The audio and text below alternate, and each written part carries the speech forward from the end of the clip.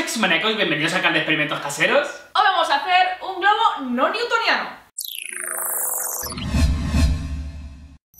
Para ello necesitamos una botella de plástico vacía y un poquito de agua, un embudo y un globo, y harina fina de maíz o maicena. Lo primero que tenemos que hacer es echar la maicena en nuestra botella de plástico vacía con la ayuda de un embudo.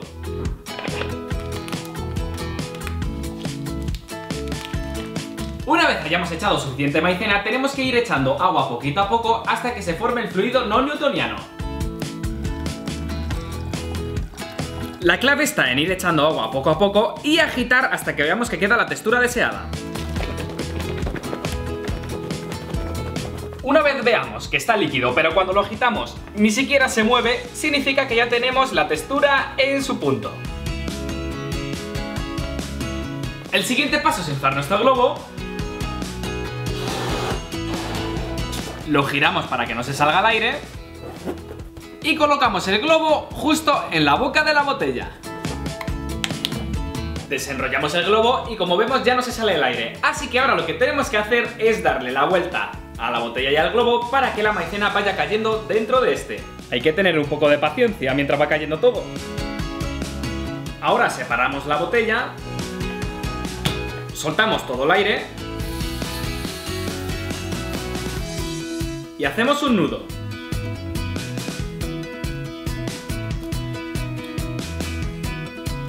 Bueno, pues ya tendríamos terminado nuestro globo no newtoniano. Si lo vamos tocando, realmente parece un líquido. Pero ¿qué ocurrirá si lo tiramos a la vez junto con un globo de agua? Vamos a comprobarlo.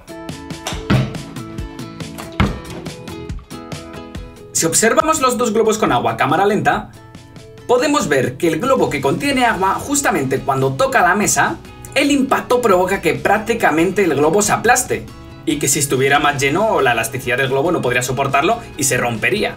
Pero sin embargo, el que contiene maicena con agua se vuelve como una piedra en cuanto toca la mesa, provocando que el globo no se deforme ni siquiera un poquito. Esto es porque no tiene una viscosidad definida. Actúa como un líquido, pero cuando se le aplica una fuerte presión, se comporta como un sólido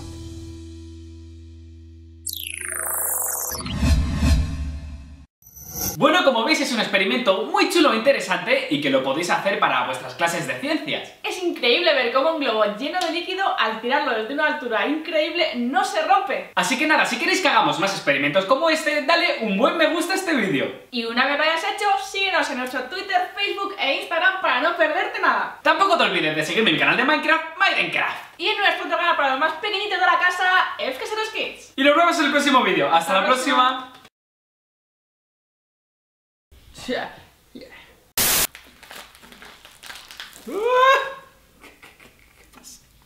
Mirarlo desde una...